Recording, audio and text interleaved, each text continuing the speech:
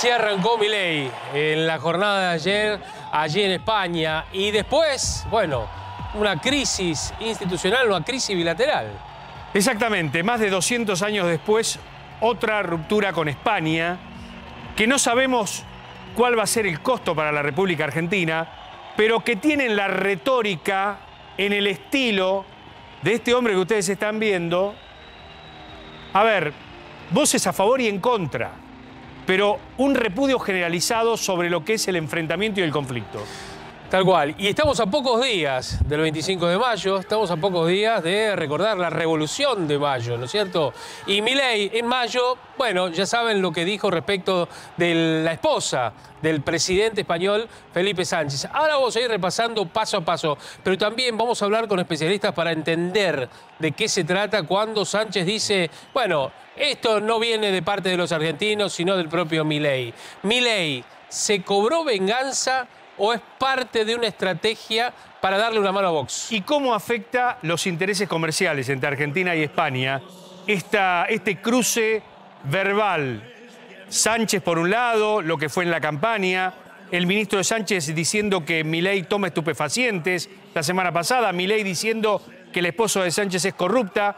¿Cómo opera esto con los intereses españoles en Argentina? Lo cierto es que la embajadora española en la Argentina ya ha regresado a su país para dar algún tipo de explicación análisis a propósito de la situación eh, que ha tornado el presidente de la Nación, que ha regresado a nuestro país también en las, en las últimas horas. Allí están viendo ustedes, en este caso, a María Jesús Alonso Jiménez, abogada, tiene 68 años. Allí una foto. ¿Se repetirá esta foto? ¿Se repetirá esta foto con eh, Mondino, la canciller Mondino? ¿Volverá a nuestro país la embajadora española eh, ante la República Argentina? Lo más probable que al gobierno de España le hacía falta un Chávez. Tener en Latinoamérica un Chávez como lo tuvo en su momento Aznar. ¿Te acordás el por qué no te callas?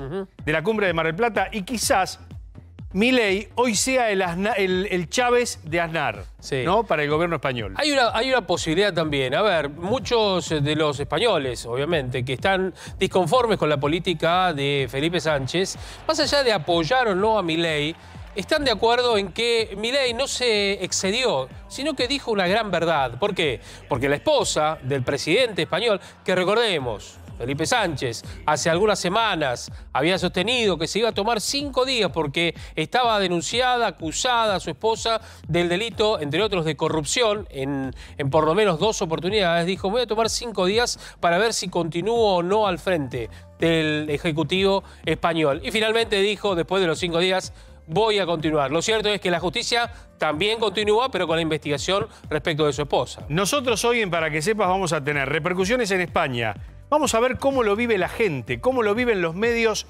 de comunicación, ¿no? Puntualmente. Y atención de cómo lo vive la oposición también en España. Tal cual. Desde ayer a hoy, una catarata, de digo, además, las tendencias en X, ex Twitter, fueron vinculadas pura y exclusivamente, en su mayoría, a Javier Milei, a Pedro Sánchez, a corrupción, a Begoña Gómez, a España, relación, todo lo que está vinculado justamente a la relación Argentina, Argentina-España, España-Argentina también.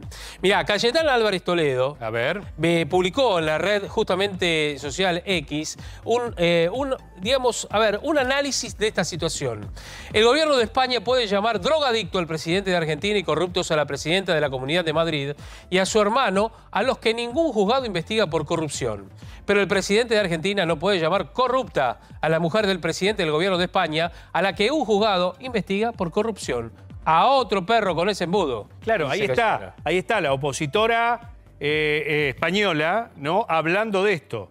Sin embargo, uno no puede entrar en este debate porque sería ser cínicos y avalar el maltrato o avalar cualquier tipo de insulto en un primer mandatario. Mm. A ver, no podemos decir a mi ley le han dicho de todo durante todo este tiempo y tiene el derecho a humillar en su territorio. Me parece que no nos podemos centrar ahí porque estamos hablando de un presidente y de un país que es hermano de la República Argentina. Así todo, yo digo, ahora vamos a hablar con Luis Rosales para hacer un análisis también este, geopolítico, ¿no? A propósito de esta, de esta situación, ¿no? Eh, en decir, aquí en la Argentina nadie también, y esto hay que decirlo, nadie se espantó cuando el ministro de Transporte de España los indicó como que tomaba estupefacientes Estupefacientes, claro, o claro. algo al momento de hablar y declarar. Pero tenés derecho a responder eso. Tampoco, se, tampoco en la Argentina nadie se espantó, salvo los propios, digo, eh, cuando este, Pedro Sánchez, en campaña,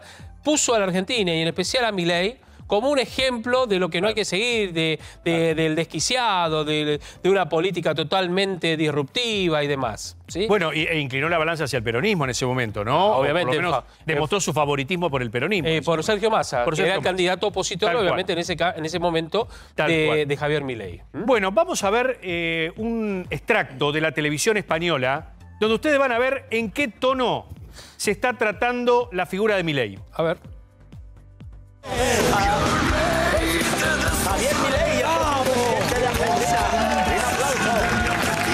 Aplauso tremendo. Como dijo un gran sabio, mi misión es cagar a patadas en el culo a los keynesianos y colectivistas hijos de p. Madre mía, qué frase zaca me marqué. la boquita para hablar de la Argentina. ¿Eh? Después de patear el orto de masa en la segunda vuelta, pienso instaurar la libertad y acabar con todas las lacras del comunismo. Los impuestos se acabaron. La educación pública se acabó. La sanidad se acabó.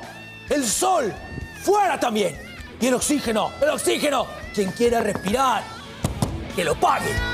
A trabajar, venga. Cumbre de asesores. A ver, Milton, ¿qué me traes? ¿Privatizar la sanidad? Ajá. ¿Y cuando alguien se muera, en vez de llevarlo a la morgue, al parque para que jueguéis con los huesos? Re bien. En fin, eh, bienvenido de nuevo aquí a este programa, señor Milei. Tome asiento o tómese una tila, no sé lo que quiera, pero cálmese, por el amor de Dios. Sí. Perdone, pero es que a veces se me olvida que, que soy presidente.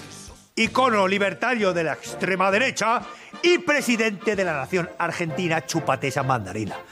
Cargo que ostento con muchísimo orgullo, pero no tanto como el de Mr. Pelo Bonito.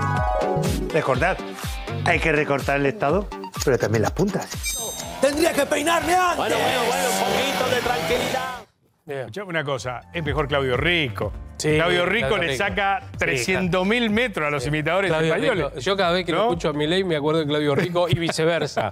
y viceversa, por supuesto, que además comparto con él todas las mañanas en Piloto 910 en AM eh, Radio La Red. Bueno, a ver, Luis, hagamos un, simplemente una, a ver, un X, un tweet, digamos, porque vamos a hablar con un periodista español ya inmediatamente. Dale. O sea, 100, no, 280 caracteres. Dale, dale. Ya me Sí. gasté como 30. Sí, sí, sí. Dale. No, bueno, dale. Tenés Bueno. chance. Eh, eh, es mi ley.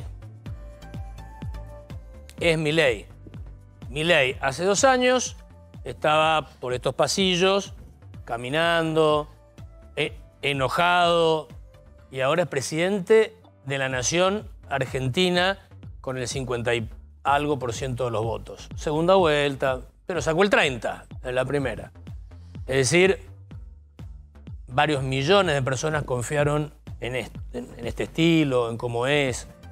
Y, la for- ¿Y quién era Milei? Milei era un tuitero, un economista formado, todo eso es cierto, pero un tuitero muy agresivo con sus ideas, convertido al liberalismo hace unos 10 años, 8 años, y transformado en una bandera del liberalismo.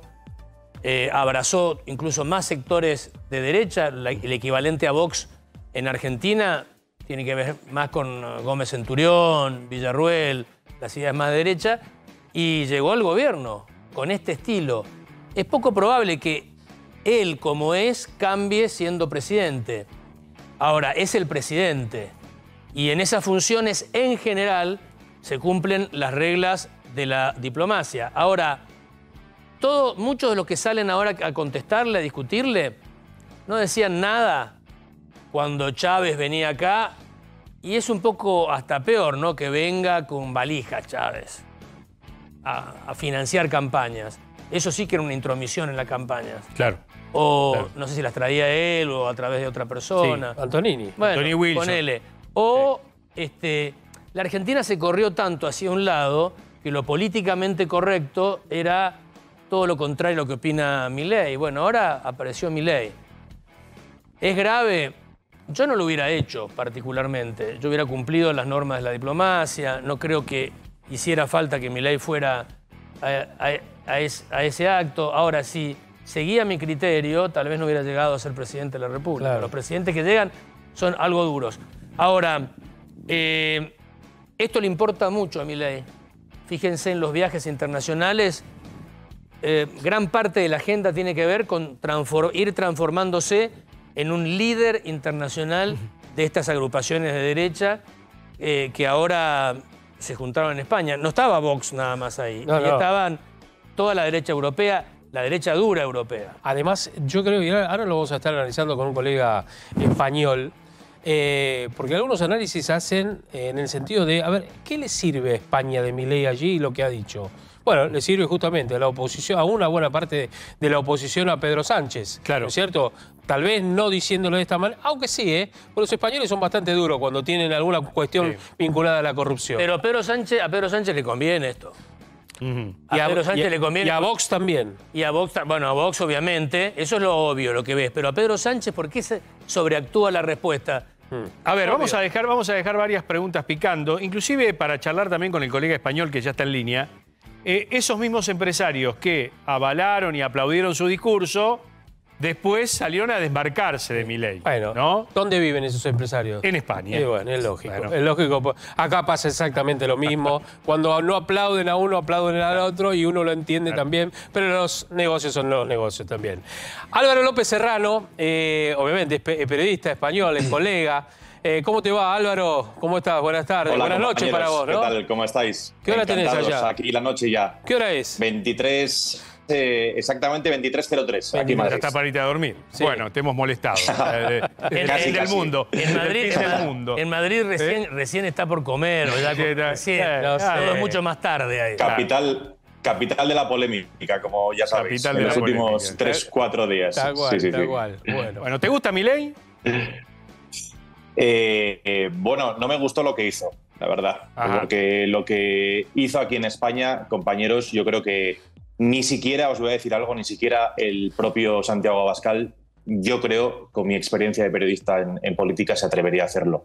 Eh, para que entendáis un poco cómo, cómo surge todo esto o esta polémica tremenda que se ha desatado aquí en España con las palabras del presidente argentino, hay yo creo que tres claves importantes tres claves eh, fundamentales para entenderlo. Primero es el clima, ya lo sabéis, eh, de polarización extrema que existe en España. Eh, es verdad que un poquito menos que en la Argentina, pero existe un clima de división absoluto desde que entró Vox en las instituciones y sobre todo desde que Pedro Sánchez depende su legislatura, su presidencia de un hilo debido a, a- a la presión de los partidos catalanes, independentistas. Dos, eh, yo creo que también en esa polarización entra directamente el presidente del gobierno, Pedro Sánchez, lo comentabais hace unos segundos, al propio Pedro Sánchez también, por qué no decirlo, le interesa este enfrentamiento eh, absoluto con, con Javier Milei, eh, porque acordaros de ese periodo de reflexión que tomó de cinco días, eh, donde tuvo al país en vilo, si iba a dimitir, si no iba a dimitir. Bueno, pues este enfrentamiento, sobre todo para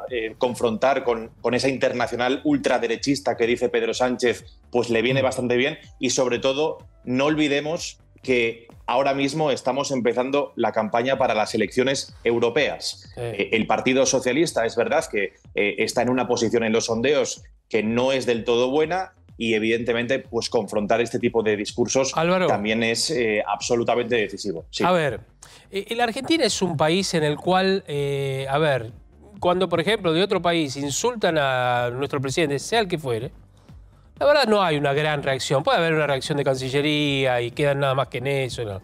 Al revés, creemos nosotros que en España es distinto, así como en otros países europeos. Ahora, a Milei le dijeron que se drogaba al momento de hablar. Que, mira, vamos a verlo, ¿te parece? Lo repasamos un poquitito para, para vos y para nosotros. ¿Te parece? Digo porque, Muy bien. a ver, le han dicho de todo, Lo pero que dijeron los españoles no de se escuchó, claro, lo que, lo que dijeron los espa- no, lo que dijeron funcionarios del Ministro, gobierno y el propio de- presidente de- español claro. de Milei y sus formas y el gobierno que, que, que- que lleva adelante o que iba a llevar adelante si ganaba también. Mirá, vamos a escucharlo y compartimos y, habla- y analizamos. Es el presidente de todos los argentinos, porque como panelista de Intratable, fantástico estaba, pero digo, hay que, hay que avisarle que Sí, sí. engatusada ya, ¿no? Ojo, él lee muy bien los panoramas y los escenarios. Y también cabe decir que eh, ya él ha sufrido los embates internacionales estando en campaña previo a la elección, cuando, por ejemplo, el presidente de España ha dicho públicamente, eh, desearía que gane el señor Massa y no esta persona que, bueno, la ha calificado de desquiciado, algo que no se puede permitir, una persona ya Está con muy su mal, pero la ley del talión se abolió hace, hace, hace siglos. El Sí. ojo por ojo, diente por diente. Digo, hay que poner la otra mejilla. Digo, si le pegan a él, él tiene que de alguna manera ser otra calidad de persona, porque si va a contestar con agravios, No, es que tuvo una, se- una seguidilla de ataques importantes, considerables, de parte de funcionarios del gobierno de Pedro Sánchez. Recordemos el ministro de Transporte, la ministra de Ciencia e Innovación eh, y Diversidades, después la propia Yolanda Díaz, que es vicepresidenta de Sánchez. Entonces, eso, digamos que, digo, quizás han hecho mella en su persona y ya era hora de responder.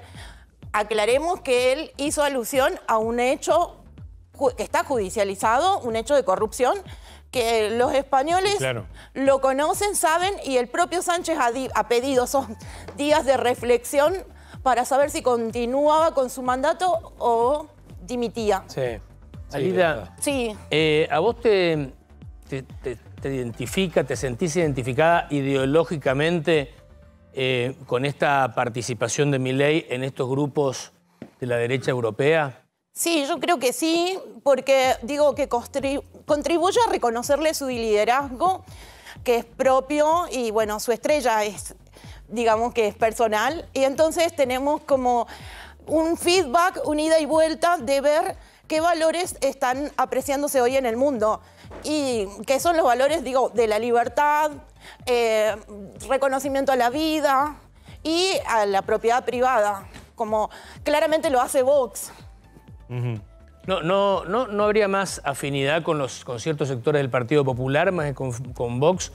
El liberalismo argentino generalmente tenía más vinculaciones con eh, la derecha moderada española, Sí, entiendo eso. no con Vox como una derecha tan dura, ¿no? Claro. Eh, lo que acontece creo que puede ser en estos últimos tiempos en que eh, la- el Partido Popular ha hecho buenas migas, por así decirlo, con el Partido PRO acá en Argentina y bueno, Javier Milei se siente más cómodo quizás con una personalidad un poco más fuerte, más denunciante de las realidades locales, que es Vox. Vox hoy está llamando al, quizás al control no eh, discriminatorio de la inmigración, pero sí al control para, obviamente, ante el sufrimiento de eh, la suba del crimen.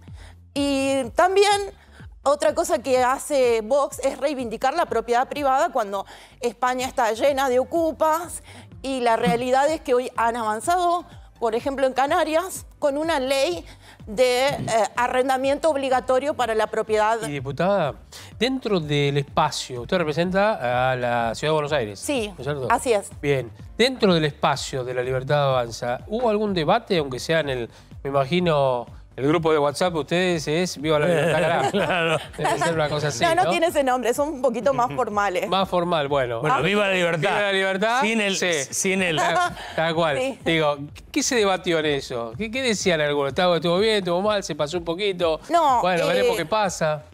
de veras que no ha salido ese tema en el grupo de WhatsApp del bloque, Bien. porque nos estamos viendo apremiados por la labor parlamentaria, el trabajo en comisiones. Pero algo deben haber dicho. Se habrán Eh, pasado videos, se habrán pasado. Uy, este es Claro. Javier. Ay, este es Javier. Eh, no, No, no, No, por bravo, ahora. Por ahora no, porque ciertamente estamos sobrecargados o bien cargados de trabajo en comisiones. Mu- Muy encendido ese grupo de WhatsApp, por lo que me cuentan. A lo largo de estos meses hubo momentos ríspidos, pero se trató. Hay, hay diputados ahí, por lo que me cuentan a mí, que siempre tratan de mantener la cordura y la formalidad.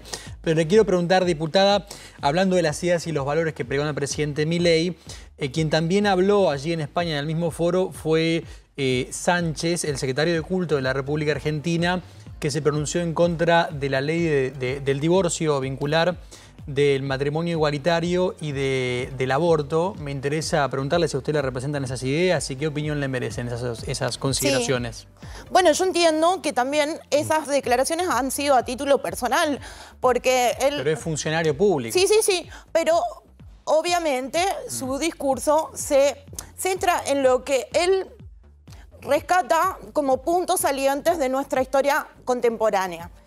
Historia contemporánea que ha estado marcado, digamos, en esos avances o esos puntos, esos hitos Mm. parlamentarios que han sido la ley de divorcio, que significó obviamente un cambio importante en la sociedad.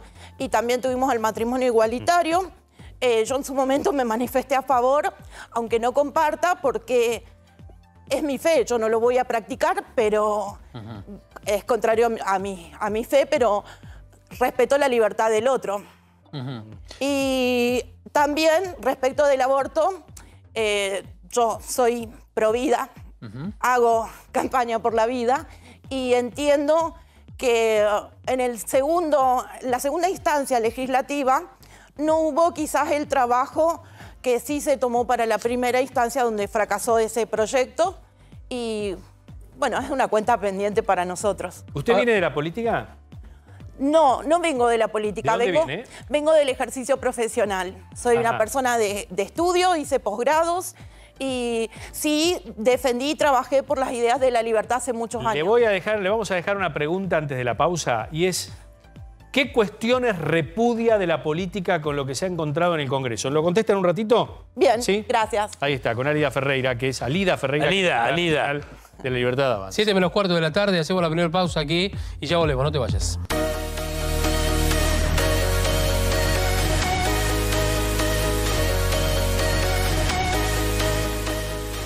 Bueno, seguimos en el aire. ¿eh? Había quedado una pregunta pendiente con Alida Ferreira. ¿Con qué se encontró en el Congreso cuando ingresó, no? Sí, em, Que repudia. Digo, ¿difícil el debate? no, no, no es difícil, uno va descubriendo eh, alguna maña y quizás, no sé, algo que recuerdo, que creo que se repite en todo el ámbito de la administración pública, es que me presenten a un familiar que pudo ingresar a trabajar eh, en este lugar hace un tiempo y Privilegios.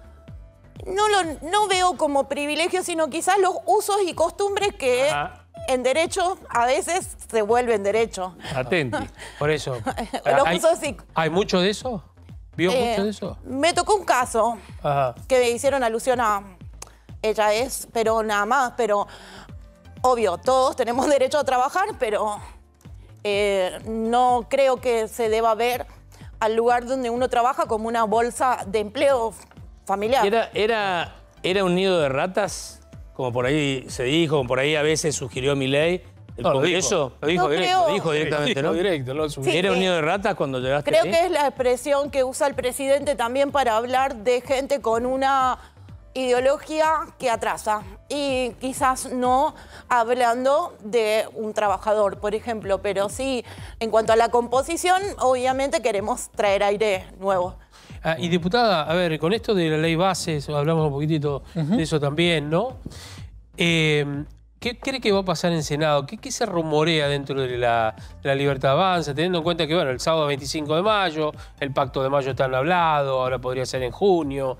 Eh, Sí. ¿Qué cree que, que puede llegar a pasar en Senado? Eh, bueno, no conozco tanto el ambiente del Senado, pues me veo en mi labor, pero creo que hay números como probabilidad de que sea aprobada, pero sí, eh, ya hemos escuchado a el señor Francos, el doctor Francos, que ha asumido que podría haber alguna eh, introducción de mejoras o reformas para que lograr eso, la aprobación del Senado y que vu- vuelva con nosotros Ah, a, diputado. la Cámara Baja. Aprobación en general y en particular, bueno, A la Cámara Baja. haya modificaciones. Y, y en ese caso, eh, la Cámara de Diputados tiene dos opciones como Cámara de Origen, que es ratificar la versión original que aprobaron ustedes o dar cuenta de esas modificaciones. ¿Cuál es la idea que tienen ustedes como bloque? ¿Van conversando una especie de negociación espejo con el Senado para aprobar esas modificaciones? o la idea es insistir con el proyecto tal y como salió de la Cámara Baja? Y estamos un poquito a la expectativa de lo que se trabaja eh, con el Ejecutivo Claro. y con los senadores. ¿Por qué? Porque obviamente que si eh, nuestro presidente, nuestros ministros aceptan esas reformas, eh, sus razones tendrán y nosotros respetamos Claro. eh, técnicamente sustentadas. Así Eh, que... Diputada, eh, volviendo al tema, porque esto de Vox trae bastante que tela para cortar, ¿no? De lo Sí. que se está gestando en Argentina. ¿A usted le gustaría que la libertad avanza se transforme en una especie de Vox? Porque todavía la identidad de la libertad avanza está, está algo difusa. Es clara el pensamiento de Javier Milei, Sí. pero del partido todavía es difuso, ha habido muchas discusiones internas, se están acomodando en las cámaras. ¿A usted le gustaría que fuera un, algo parecido a Vox? Eh, yo creo que tenemos una idiosincrasia muy fuerte los argentinos para tomar un modelo de otro país y creo que ha hecho escuela el presidente Javier Milei de las ideas libertarias como para que tengamos nuestra propia identidad. De hecho, en el bloque nos conocimos, nos reconocimos, algunos con las mismas ideas, y nos estamos aceptando viniendo de diferentes orígenes eh, partidarios, sociales. Y entonces eh, yo creo que hay con qué, con qué crear algo nuevo con propia identidad. Hay que ver si le soluciona la vida a la gente, la idea libertaria. ¿no? Sí. Hay que ver eso. ¿eh? Sí, que todavía sí. es un signo enorme de interrogación, ¿no? 100.000 men- puestos menos de trabajo, recesión, digo, una economía que todavía no dispara. Claro, ¿no? pero eso que señala, Mariano, disculpe, Sí. es, por ejemplo, efecto, mucho es efecto rezago de Está bien, está bien, la herencia recibida. Está- estamos, estamos de acuerdo que, que siempre hay un, un discurso allí en ese sentido, pero digo, la gente está esperando. Sí, sí. Gracias. Muchas gracias, a Gracias por ustedes. venir. Gracias, diputada. es muy Muchas gracias. Bueno, vamos a cambiar de tema Sí. eh, también y vamos a hablar algo que ha ocurrido en la jornada de ayer. Recuerdan ustedes, alrededor de las 8 de la noche, en Panamericana, un camión, una maniobra que se ha desatado como consecuencia de eh, otro automóvil que en principio se le cruza a un segundo vehículo. Este segundo vehículo impacta contra este camión. Eh, el conductor del camión siente, de, de acuerdo a lo que ha relatado la policía, eh, estoy contando, siente el impacto en el camión, pierde un poco del control del mismo, se cruza desde la mano lenta hacia la rápida sobre la, la misma este, Panamericana, la autovía, en dirección hacia el norte y no puede evitar en el zigzagueo que hace debido a que tenía este, el semi, el semi acoplado atrás, que este container caiga en la mano contraria, es decir, en la mano que iba o que va hacia la ciudad de Buenos Aires. ¿Qué conspira en Argentina para que en la autopista más importante del país, como es la Panamericana, una joven mujer y uno de sus hijos muera aplastado en ese Toyota Corolla? Sol Quirno y su hijita aplastados por un container en la Panamericana. Digo, en dos segundos te cambia la vida. Eh, tenemos que ir al móvil. Está Sí. Diego de Nicolás. ahí. Ahí está Diego de Nicolás exactamente allí en el lugar. Diego, ¿cómo te va? Buenas tardes. Hola Javi, hola Mariano, ¿cómo ¿Qué están? tal? Bueno, tratando de, de ver el lugar, eh, a esta hora ya ha caído la noche y como observan ustedes, eh, la Panamericana tiene un flujo de vehículos incesante, ¿no? Y más fin de semana, como fue ayer. Pero hay un dato particular que les queremos mostrar. Todo este tramo tiene las luces centrales apagadas. Fíjense, Sí. fíjense lo oscuro que está esto. Lo que no queda muy en claro y lo que no sabemos, si ahora está todo apagado porque han hecho algún trabajo, luego que removieron los vehículos y demás, y mm, producto de esto no hay iluminación en este tramo, Sí. o si esto también ocurría ayer. No, realmente no lo tenemos claro, pero nos ha llamado mucho la atención en esta noche que todo este tramo, a 300 metros para un lado y 200 metros para el otro, de donde fue el siniestro, está todo oscuro. Diego, a ver, y además de esto, las cámaras de seguridad de la autopista, ustedes saben que las cámaras de seguridad de distintos lugares, acá en la ciudad de Buenos Aires también, tienen domos. Esos domos, si ustedes se ponen a mirarlo, van a ver que giran. ¿sí? En, cuestión de segundos, giran hacia un lado, hacia el otro, vuelven al mismo sentido, van a ese otro lugar. En el momento del impacto no se puede ver porque la cámara había girado. Automáticamente es esto, ¿no? Esto se hace para una cuestión de que se pueda abarcar mucho más, lamentablemente. Ahora, eh, la fiscalía del doctor Larramendi eh, lo que está buscando es más testigos de este hecho para tratar de reconstruir. Ya tienen la declaración del camionero, tienen la declaración de los otros conductores, de los otros dos conductores, a los cuales a los tres se les hizo el test de alcoholemia y dio cero. ¿Sí? Al conductor del camión 0,0000, porque además es conductor profesional, no puede ingerir alcohol. Y la provincia de Buenos Aires, donde ocurrió el hecho, la tolerancia de, eh, digamos, de, de- de ingesta de alcohol es cero también. Exactamente. Eh, a ver, lo que nos preguntamos es, ¿qué pasó con ese container? ¿Cómo te puede aplastar un contenedor en medio de esta vía rápida? Insisto con esto, la autopista más importante del país, el acceso norte. Digo, miren lo que es ese- esa mole Impresionante. cayendo sobre un vehículo y matando, destruyendo una familia. A una mamá y- Impresionante. El hijo de 12 años que iba detrás, Diego, el nene se salva, tiene un corte en el pómulo por lo que sabía y, y este, y la verdad salva de milagro, ¿no? Sí, porque eh, dio justo la, la situación que estaba en un punto en donde la estructura del vehículo no se deformó tanto como para poderle causar esos daños mortales que sí le causó a, su mamá y, y a su hermana, ¿no? Pero indudablemente que era una situación para la gente que iba en este, en este auto absolutamente ajena, porque ni siquiera participan de, de todos esos desvíos que se dan entre el carril lento, carril rápido, ellos venían directamente por la otra mano y el Sí. contenedor cruza sí, por encima del. Se cae del otro lado. Eh, déjame retomar lo que decían recién ustedes sobre eh, lo de las cámaras y sobre los domos. Es habitual en muchos lugares ver eh, muchas cámaras, inclusive hay algunas esquinas, por ejemplo en la ciudad de Buenos Aires, que tienen ese domo al cual hacían referencia ustedes, pero a su vez tienen tres cámaras fijas, tratando de abarcar la mayor parte posible. Bueno, acá nosotros desde temprano estamos tratando de mirar a ver dónde están las cámaras, los domos, lo que fuere. Por lo menos desde donde estamos nosotros, que estamos en la parada de colectivo, de acá no podemos ver nada. No vemos ni siquiera un domo. Eh, eh, quizás si hay un domo está lejos desde este lugar, porque acá no los vemos. Claro. Debería estar a un costado de la autopista o bien en el centro de la autopista, pero normalmente en esa altura me parece que están a los costados, pero que sería la mano lenta. El, el conductor del camión se llama Diego Iturriarte, que tiene 48 años. Santiago, eh, Santiago Nicolás Ayús es el otro joven que conducía de 17 años del Toyota Corolla, no el que al que le cayó el container, sino el que iba de la misma mano que, que el camión. Y en el, en el caso del otro vehículo, también digamos que es un Peugeot 206. Digo, a ver, eh, obviamente el tránsito de ayer a la noche a hoy es distinto y más en la mano que va al norte, ¿no? Porque normalmente es al revés, la mano más, eh, más llena, más compleja es la que viene a la ciudad de Buenos Aires en un domingo.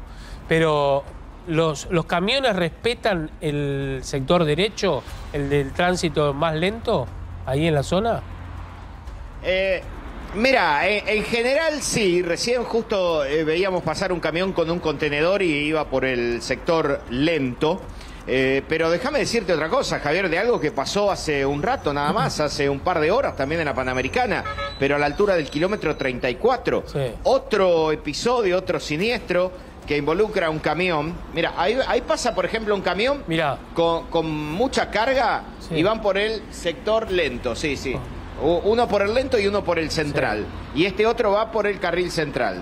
Digamos, acá la Panamericana son muchos los Con carriles. carga. Pero déjame retomar sobre el hilo de lo que decíamos recién, que en el kilómetro 36, ya casi llegando a la zona de Garín, hoy a la tarde, otro conductor de un camión perdió el control, salió despedido y terminó muriendo también. Es decir, otro siniestro sobre la Panamericana en el mismo día de hoy, 20 kilómetros más adelante, eh, con otro saldo eh, tristemente mortal.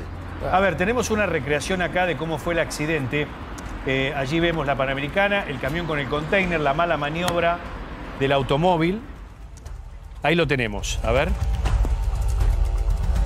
Y el lugar, ¿no? El lugar, puntualmente la altura de Pelliza, ¿no? Sí. Apro- eh, aproximadamente. ¿Dónde está. Diego? Tal cual.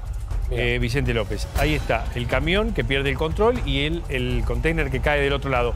Eh, se habló de un auto misterioso en ese momento que se escapó, ¿no? Sí. Los primeros minutos, las primeras horas. Porque lo que dice el conductor del Corolla, el Corolla es el blanco que está del lado más lento, ¿no? Eh, es que alguien lo encierra. Él encierra al 206, que es el de color negro y que impacta contra el camión, y después el camión vuelca al container de la mano contraria, ¿no? Imaginen ustedes el golpe y además también, porque esto acá involucró nueve autos. Exacto. Como consecuencia del choque. Podría haber sido peor todavía. Peor todavía la situación.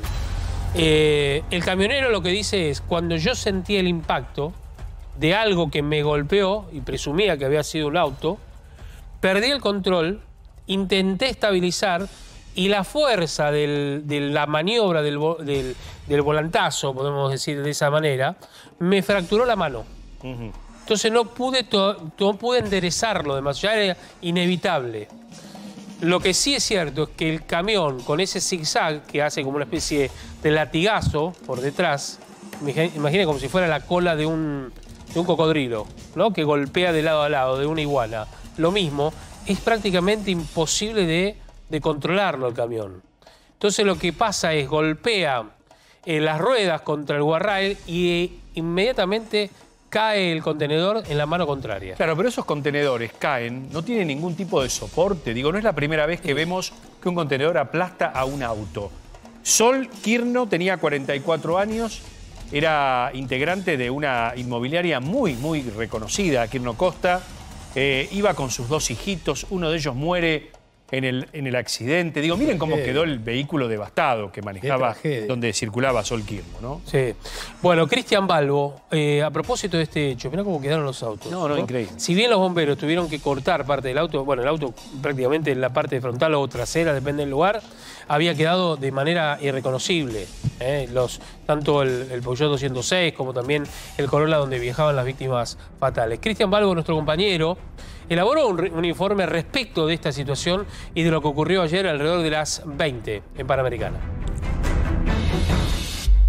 Accidente trágico en la Panamericana a la altura de Vicente López. Sol y su hija Camila murieron literalmente aplastadas cuando circulaban en su auto mano hacia la ciudad de Buenos Aires por un contenedor similar a este. Claro, abre un gran interrogante. ¿Qué medidas de seguridad tienen estos camiones portacontenedores? Tengamos en cuenta que el peso puede llegar a las 32 toneladas. 32 mil kilos, por eso muchos automovilistas los evitan cuando circulan las autopistas de acceso y salida a la ciudad de Buenos Aires. Vamos a, a investigar cómo funcionan estos camiones portacontenedores, cómo los ubican sobre la plataforma. ¿Cuál es la medida de seguridad? ¿Cómo funciona? La seguridad es esta, señor. Es así. Esa es la seguridad. Claro. El contenedor, acá traba el pino, ¿vio? Ahí- Pino se llama, pino se Estos llama. son pinos. Acá, eh, cuando te, te ponen el contenedor así, vi que está con blanco todas las puntas, todo con blanco.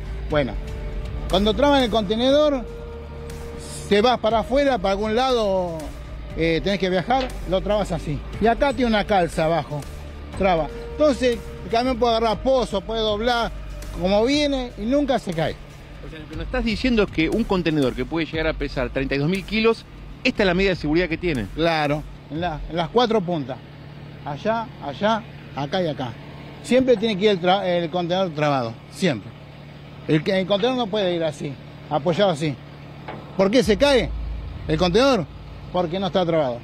¿Y qué pasa? ¿No funciona la traba muchas veces? ¿Por qué no, la no, colocan? no. Por ahí eh, el pino se giró así, no tiene traba, se giró así el pino y se salió. ¿Viste? Hay que tener siempre cuidado y, y hacer este responsable en una manera cuando llevas un contenedor. Porque viste la colectora que vos venís por la General Paz, agarrás Panamericana, todo salto ahí y por ahí se, se hizo así el pino. A ver, ¿podemos, podemos girarlo? ¿Dónde gira esto? Ahí, ver, acá. lo mostramos acá abajo. Fíjense, ¿eh? Fíjense el pino que es la medida de seguridad que tiene un contenedor. Claro. De acá se gira. Uno Sí, gira de acá. Sí, sí.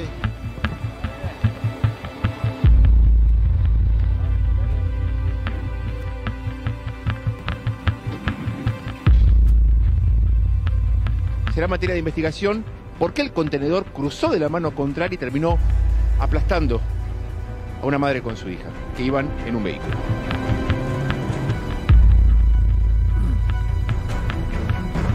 ¿A ustedes les parece que un contenedor que pesa miles de kilos tiene que estar agarrado solamente con ese soporte?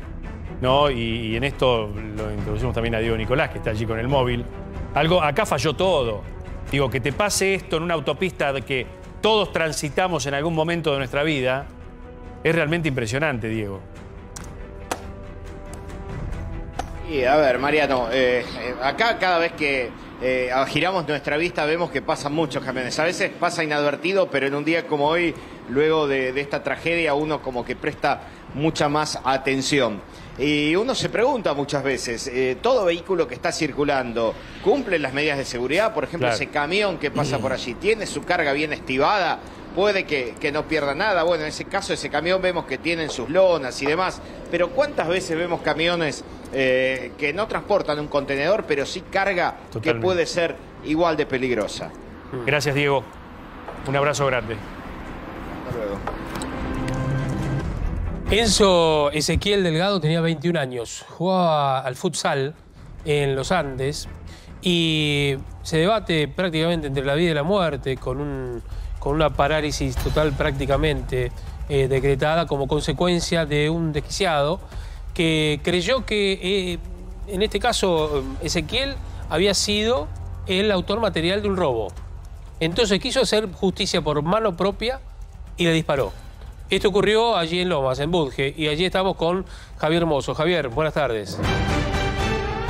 Hola chicos, ¿cómo están? Buenas tardes. Así es, en este momento estamos en la calle Ayolas al 1900 y recién se acerca gente, perdón que, que salga con otra cosa relacionada con este tema, dice, hay dos o tres motos que se están paseando por acá que están tratando de amedrentarnos porque al parecer quien ayer ejecuta a Enzo, estaciona acá, la Duster gris, se puede ver en el video tomado por una cámara de un vecino y demás, se baja y le dice, acá me robaron una moto acá encontraron una moto mía hace un mes. Estamos hablando de que el hecho fue hace un mes, le roban la moto a Moreira, la moto es encontrada aquí y este Moreira que ejecuta a Enzo lo culpa, lo culpa a Enzo de ser quien Le había robado la moto cuando el pibe no tenía absolutamente nada que ver, juega al fútbol, pasó por varios clubes eh, y en, en absoluto está metido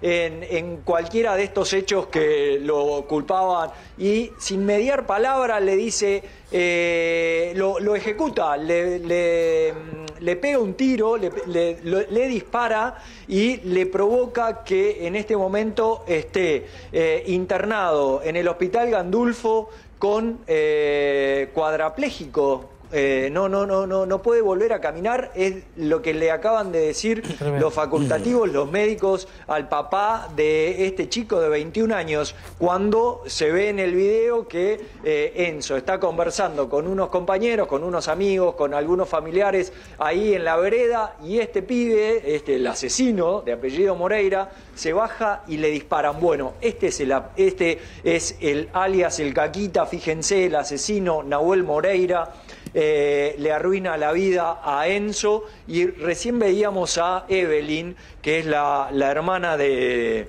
la, la hermana de Enzo. Eh, contanos por favor en qué estado está, cómo está en este momento tu hermano. Eh, Enzo está con el pulmón perforado y la médula también lastimada y bueno, nos dijeron que no iba a poder caminar. Eso está confirmado, lamentablemente, que ya no va a vuelve a caminar. Dijeron que no iban a poder operarlo tampoco. ¿Cómo? ¿Cómo? Perdón, señora. ¿Cómo? El lunes le dieron ese informe que no va a volver a caminar. Hoy lunes le dieron los informes de que no va a volver a caminar. Sí. es irreversible.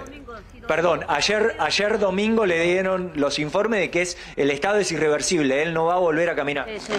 Sí, eso le dijeron, así que bueno, nada. eh, Javi. Hoy di- dieron otro, tuvimos parte médico, pero bueno, él ahora no lo quiere dar. Después lo va, lo va a dar. Perfecto, sí, decime Este, Javi. este Nahuel, eh, apodado Caquita este, Moreira. Pereira, eh, Moreira, Moreira. Moreira. ¿Quién es? ¿Lo conocen en el barrio? ¿Qué es un mafioso? ¿Qué es? Bueno, es la, ¿O está prófugo? es la, es la gran pregunta, ¿no? Si yo, si yo pregunto en el barrio quién es este Moreira, ¿qué se puede decir? Una basura. Eso es una basura, porque le arruinó la vida a un pibe. Él, él está acostumbrado a arruinar vida igual, porque es un vendepaco.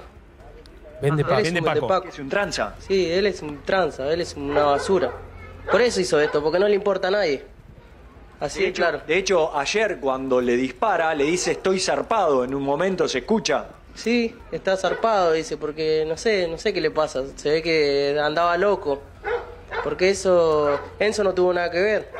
Enzo es un pibe que se la pasa más en la cancha que en la calle. Del trabajo a la cancha. Siempre así. Vos le decís, Enzo, vamos a jugar, no sé, a Luján. Te decía, ¿cómo vamos? Pero vamos. Aficionado, loco. Él Fanático del fútbol. Fanático, fanático, en todos lados. Donde vos preguntes, Enzo, fútbol. Enzo, fútbol, siempre.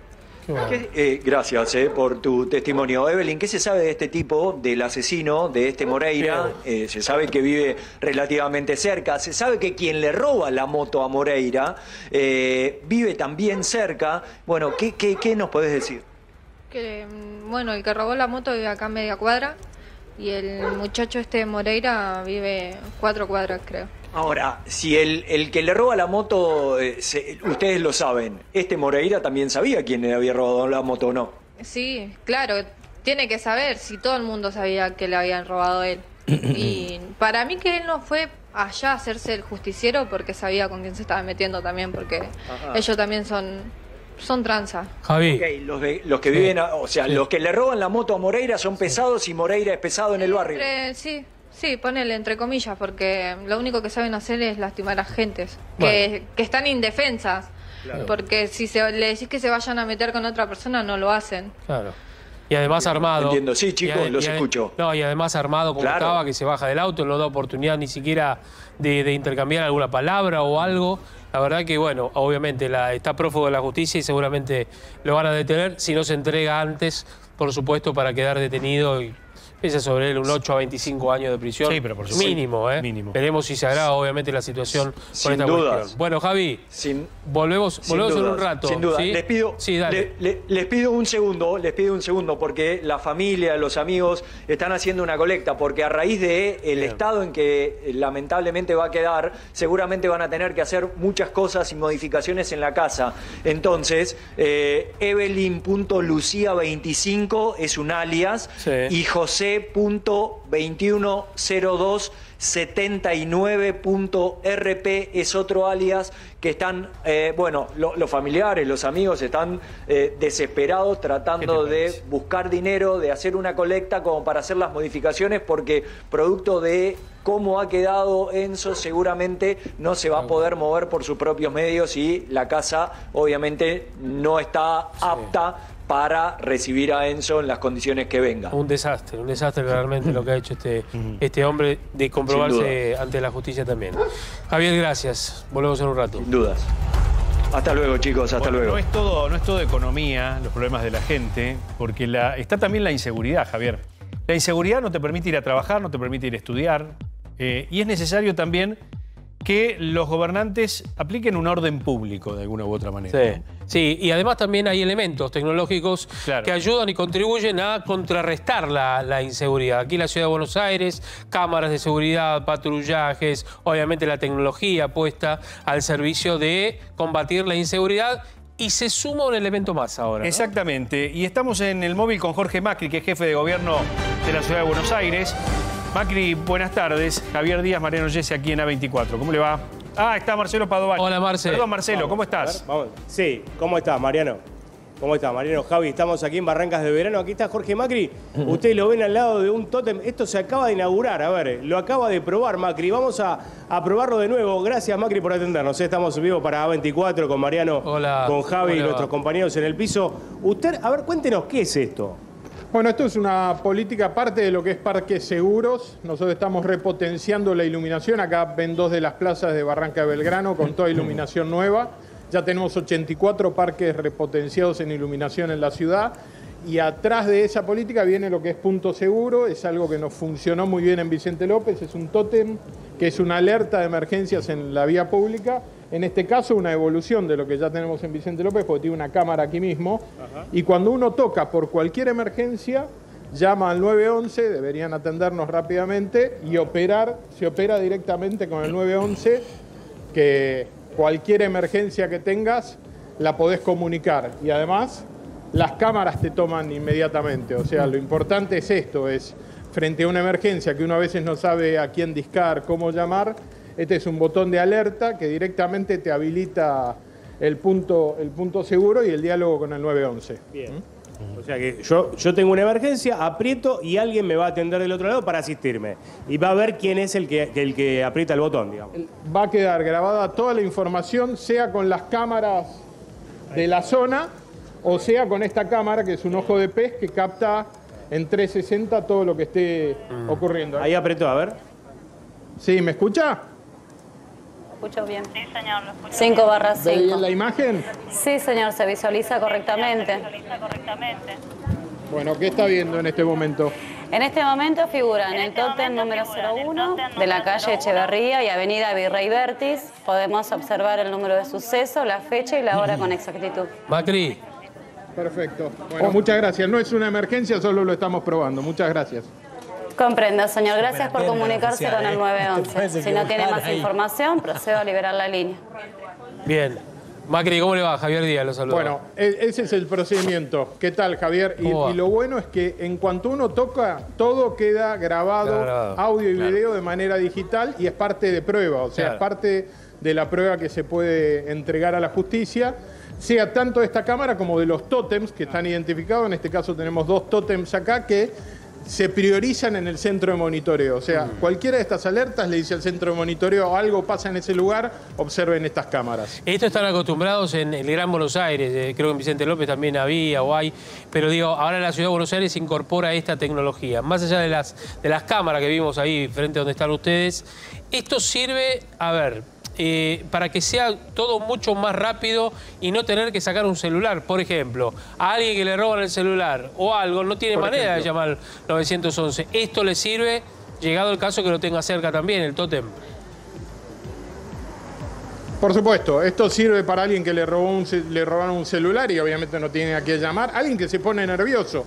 No es tan fácil en un momento de urgencia o emergencia Discar. acordarte a quién llamar, hacerlo bien, tranquilo. Tenemos acá a Blacky, un labrador que está contento con el punto seguro que ladra.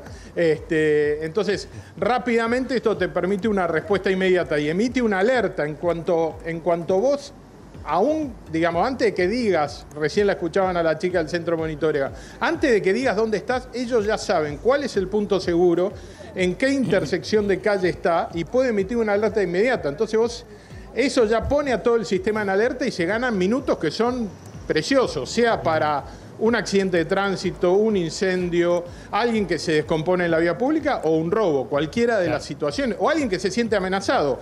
Nos sirvió en Vicente López con mujeres este, que eran víctimas de violencia de género. También. Lo que suele ocurrir con alguien violento es que les quita el celular. Bueno, se escapaban de la, cas- de la casa hasta un punto seguro, tocaban y ya se sentían en una zona protegida. Insisto, en cuanto toco el botón este, esta cámara ya está captando todas las imágenes. Si alguien acá se pone violento y yo vengo acá y toco eso, eh, todo eso ya queda marcado y, y grabado. Y el centro de monitoreo sabe, sin que yo le diga, si yo, supongamos que soy un turista y no sé cuál es esta calle, al en el momento, porque muchos de estos puntos seguros van a estar en circuitos turísticos, en el momento de hacer el alerta, le da un geoposicionamiento al centro de monitoreo de dónde está ocurriendo esa emergencia. Eso es de un valor buenísimo. inmenso. Eh, eh, Jorge, eh, ¿cuál es el delito más difícil de combatir en el área de la capital federal? ¿Con qué se ha encontrado? Bueno, hay de todo, hay tantas historias como, como delitos que se cometen. Eh, probablemente hoy el hurto es uno de los problemas este, más graves, ¿no? Los celulares que se roban, eh, las tasas de homicidio en la ciudad de Buenos Aires son extremadamente bajas si uno lo analiza objetivamente como ciudad, pero eh, digamos lo que diría robo de celulares por alguien que pasa corriendo o en una moto o en una bici o se, se bajan de- del colectivo, te roban un El celular y se vuelven a subir. O el robo claro, el arrebato o, o de una goma de auxilio o romper el vidrio para llevarse la cartera o alguna mochila de alguien que está en auto. Ese tipo de delitos son eh, la porción más grande de delito que tenemos, no son delitos... eh, digamos que dañen demasiado a la gente, pero que son graves, generan un trauma, además de una complicación y obviamente alimentan una percepción de, no sentirme seguro. Por eso esto ayuda en ese sentido también. Uno ve una señal, tiene, tiene la luz de la policía, sabe que está eso, un parque que ya está completamente iluminado con luz blanca. Todo eso ayuda a que también nos sintamos más seguros, porque me parece que la tarea de los que gobernamos tiene dos planos.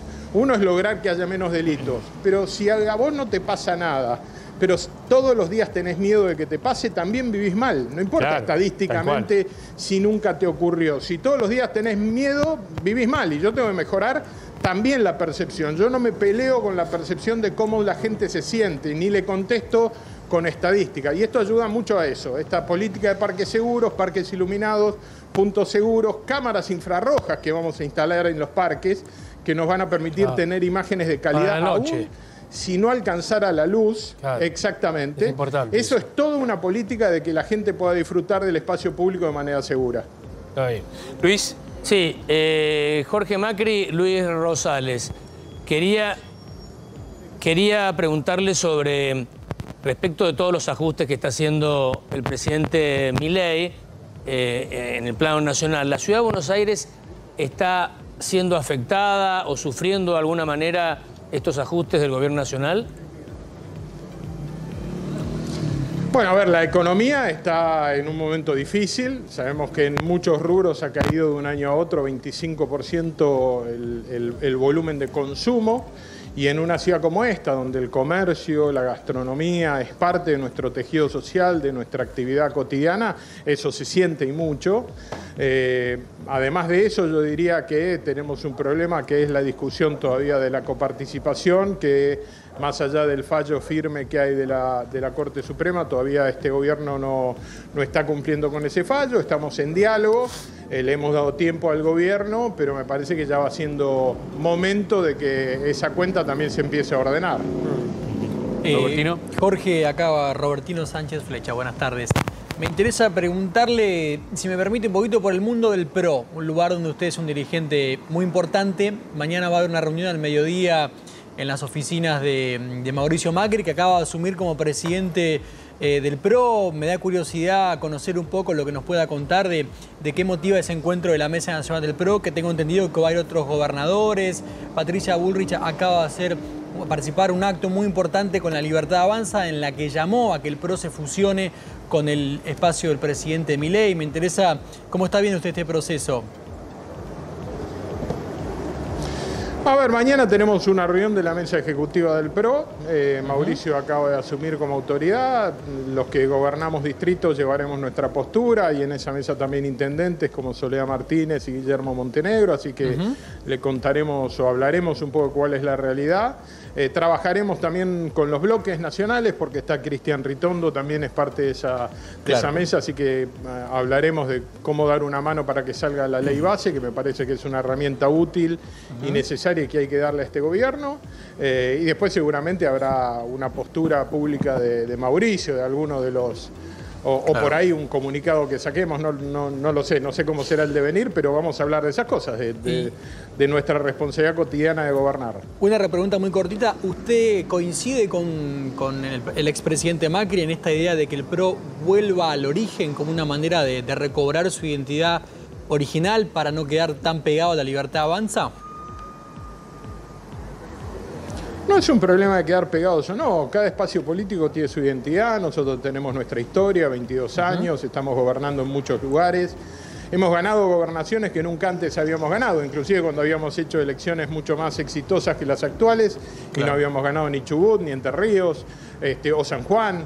Entonces, eh, o San Luis, entonces esos lugares demuestran que, bueno, no hicimos una buena elección nacional porque salimos terceros, pero hemos crecido en otros lugares. Y me parece que nuestra tarea es tratar de que al gobierno actual le vaya bien, pero también mantener nuestra identidad, nuestra historia. Nosotros somos un espacio político que queremos gobernar y queremos transformar realidades cada vez que gobernamos, como lo estoy haciendo yo ahora, como lo hizo Mauricio antes, Horacio, como lo han hecho un montón de intendentes que han pasado con responsabilidad de gestionar. ¿Quién, eh, ¿qué, qué le dice la gente, digo, en la calle? Porque, a ver, siempre ha pasado que la gente reclama seguridad, ahí está presentando, bueno, una- un nuevo sistema, sumándole a todo lo que hay, pero también el tema de, bueno, el impuesto, los impuestos, la suba de impuestos. Hace poco, bueno, se aprobó en la legislatura la suba, entre otros, del ABL, sin tope. Digamos, ¿esto va a seguir así o cree que, como la inflación que propone el gobierno, que interpreta el gobierno, va a ir bajando y no va a haber más impuestos que se vayan elevando? ¿Qué cree Macri? Bueno, nosotros eh, no aumentamos impuestos, los corregimos por inflación. Eh, eh, obviamente eso es un, es un aumento para el bolsillo de la gente, pero yo no tengo manera de escaparme de la inflación. La ciudad de Buenos Aires no emite dinero, no toma deuda. Si hay inflación, este tótem hace un tiempo costaba menos que ahora y dentro de un mes va a costar un poco más que ahora y necesito invertir. Y la, ilu- la iluminación que estamos haciendo acá pasa lo mismo, los sueldos de los médicos o de los maestros o de los policías. Entonces el problema que tenemos en la Argentina es la inflación. En ese sentido creo que el gobierno nacional está haciendo un gran esfuerzo, pero nadie puede escaparse de esa realidad. Entonces no es que, eh, digamos, queremos aumentar más que la inflación, pero no tenemos más remedio que ir ajustando en función de la inflación, porque si no, no tengo manera de seguir prestando los servicios que prestamos, como Es decir, que si, la campaña si de la inflación o la sube o a la- a varía, la gestión varía, van a seguir aumentando los impuestos, digamos. Los- Sí, si baja, los impuestos irán a la baja, naturalmente acompañando la inflación. Eh, yo recién hablaba del tema del orden público, ¿no? Y estamos en una, en una noche que, se vislumbra fría otra vez, donde hay mucha gente que duerme todavía en las calles. Y ustedes eh, hace algunos días fueron contundentes con esto, ¿no? De que nadie duerme en la calle sino en los refugios. Eh, ¿Cómo está ese operativo? ¿Cómo, cómo piensan encarar estos, estos días crudos del invierno? Igual que cada día, porque nuestro programa de red, como lo llamamos ahora, que antes se llamaba VAP, el programa de red, este, red de atención, tiene como objetivo que nadie duerma en la calle. La calle no es un buen lugar para dormir ni para vivir, ni para quien lo hace, ni para el resto de los, de los vecinos que tienen que convivir con una realidad muchas veces incómoda y compleja. Y salir de los lugares comunes, pero hablar con mucha honestidad. No es cierto que todos los que están en la calle son violentos. Tampoco es cierto que ningún vecino tenga problemas con la gente que está en calle. Las dos son realidades que expresan historias parciales o particulares. Lo que yo estoy seguro es que la calle no es un buen lugar para vivir, para dormir, no hay que romantizarla. Nosotros ofrecemos una red de paradores que hemos ido mejorando, inclusive este, segmentándolos. Hoy hay paradores especializados para familias, que son distintos a los paradores para gente mayor de edad distinto a los paradores que son solo para mujeres, distinto para a los paradores que son solo para hombres o a los paradores que son para personas con problemas de adicciones o salud mental. Hemos ido, eso es parte de nuestro nuevo plan, segmentar la oferta, porque a veces pasaba que algunas familias decían, no, yo no quiero ir a un parador porque está lleno de hombres solos que por ahí son más violentos, no me siento cómodo. Entonces empezamos a separar las distintas problemáticas y después con protocolos de atención de salud mental con el SAME psiquiátrico y de eh, niños en calle. O sea, nosotros estamos poniendo mucho foco en que ningún niño vea su derecho violentado teniendo que dormir en la calle. Hemos bajado de 40 niños cronificados viviendo en la calle a hoy nos quedan dos que estamos trabajando con la justicia con medidas tutelares para evitar esa situación porque nos parece de alto riesgo. Recién eh, veíamos, Jorge, eh, otra nota, estábamos conversando sobre otra nota, sobre un accidente muy grave en la Panamericana. Si bien eso es eh, jurisdicción de la provincia de Buenos Aires, eh, gran parte del tema giraba en el robo de cables. Eh, algo se nota en la General Paz, escuchamos algunas explicaciones que referían que el robo de cables también habría tenido algo que ver en los accidentes ferroviarios, el accidente ferroviario último, por suerte no tan trágico. ¿Es el robo de cables un asunto a tener en cuenta? ¿Se está grabando? Yo no, no- estadísticamente no se está grabando, pero es un tema importante y a tener en cuenta. Eh, y, y la verdad que nosotros lo encaramos, pero tenemos un problema que es que la justicia no lo percibe como un delito grave muchas veces. Y el problema es que cuando se roban cables puede morir el que los está intentando robar, puede morir alguien que necesita esa iluminación o esa conexión, si fuera el caso de ferrocarriles, esa es la razón de- del, del accidente que no lo sabemos todavía. Eh, pero está claro que es un problema grave que hay hoy en, en la ciudad de. Buenos Aires y diría yo en el AMBA, y necesitaríamos medidas de la justicia un poco más proactivas. Estamos clausurando lugares donde se compra ese metal robado, llámese cable, llámese un bronce de un, eh, de un portero eléctrico o, o- el pomo de una, de una puerta eh, o un medidor de- de- que tiene metal de, agua. Ese tipo de robo que muchas veces ahí sí puede estar vinculado con algunas personas que están enranchadas este, o en calle, a veces, no siempre, de nuevo, no hay que caer en lugares comunes, ni todos son violentos o delincuentes, Clarísimo. ni todos son eh, personas con las que el barrio no tiene problemas. Hay un universo este, de problemáticas, pero el robo de cables es un tema. Nosotros En en, el caso de General Paz eh, le hemos hecho el reclamo específico a Autopista del Sol. Autopista del Sol nos contestó diciendo que a nosotros básicamente no nos iba a dar bolilla porque esa es una concesión nacional. Claro. Así que lo lamento, este, me hubiera gustado que respondieran otra cosa, porque en definitiva por ahí circula un montón de gente que paga su peaje y ellos deberían reponer Y además, y, está, y además está en jurisdicción de la ciudad de Buenos Aires, así que le tendrían que dar bolilla también. La última para cerrar, simplemente, ¿cuál es el desafío de Jorge Macri en materia, no sé, social? Espectáculo, algún evento en particular de acá, no sé, este año, el año próximo, algún campeonato de algo que, que sueña con poder traer a la Argentina, a la ciudad de Buenos Aires.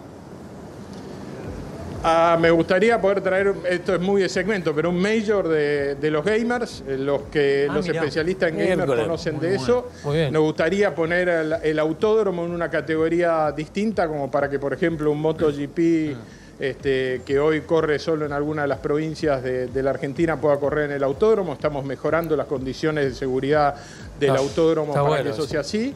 Y después llevar muchos de los eventos, de los grandes eventos musicales, de los grandes shows, al sur de la ciudad, al parque de la ciudad, al hipódromo. Nos parece que ahí pueden ser muy Bueno. exitosos, recibir mucha gente Muy y bien. no complicarle la vida a un montón de gente que en zona del hipódromo, por ejemplo, se complica mucho cuando hay tanta afluencia de gente. Yo le digo algo, simplemente, yo fui a ver a Kiss.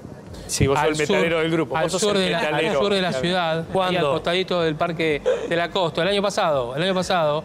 Y la verdad, la organización que hay y el lugar, porque uno dice, uh, esa zona debe ser complicada. No, muy iluminada. Además, está el barrio olímpico, Ahora ahí están pegadito. Tan grandes los de aquí ya, ¿no? No, no, no, ya se retiraron, pero estuvo muy bien y muy, digo, para que la gente confíe en ir al sur también. Perfecto. Bueno, Jorge, gracias por este contacto con nosotros. eh, gracias por el tiempo. Sabemos que hay otros medios esperando. Gracias, ¿eh?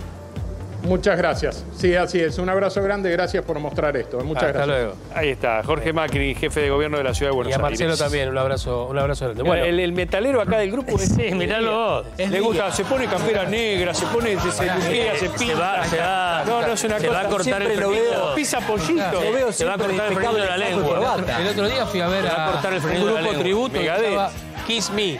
que- y me- obviamente hacen un tributo a ¿Era Kiss. verdad o Bueno. mito que se habían cortado el el frenillo de la lengua? ¿Eh? ¿Pisaba pollito? ¿Vos pisabas Nah, pollito? ¿qué va a pisar pollito? Bueno, no sabés, Fede. Y ahora estoy esperando porque ahora vi- viene ACDC, así que... Ah, mirá. atención con eso. Eso, ¿eh? ¿sabe qué? Eso es viejazo. No, qué viejazo. Eso es todo viejazo. No, Ir a ver viejazo. estas cosas es viejazo. Te Pero agarró bueno, el viejazo. Vos no sabés lo Dale. que es bueno también. Claro. ¿Qué hacemos? Además Bueno. Nos vamos a la pausa. Sí, Ah. un corte y una quebrada para este, dale. Chao.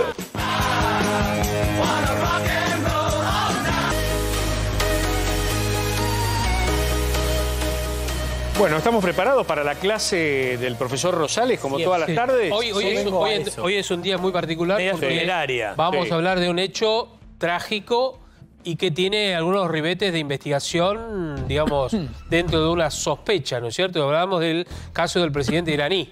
Domingo, ayer, no feriado en el mundo musulmán. Tengamos en cuenta eso.